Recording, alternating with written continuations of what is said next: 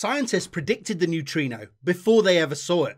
In the 1930s, a problem appeared in nuclear beta decay. Momentum is always conserved, so if an atom is at rest with zero momentum and decays into two products, those products should come out back to back and always with the same energies to conserve momentum. However, this didn't seem to be the case for beta decays. The energy of the electron varied considerably between different decays. This was a disturbing result and left Niels Bohr ready to abandon the conservation of energy.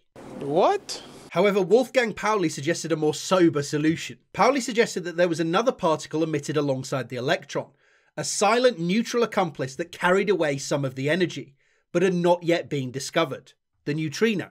This neutrino was then discovered in 1950 by Clive Cowan and Frederick Reines. Nowadays, in nuclear beta decay, we know that a neutron is transformed to a proton with the emission of an electron and an antineutrino. But sometimes you can know something is there before you ever see it.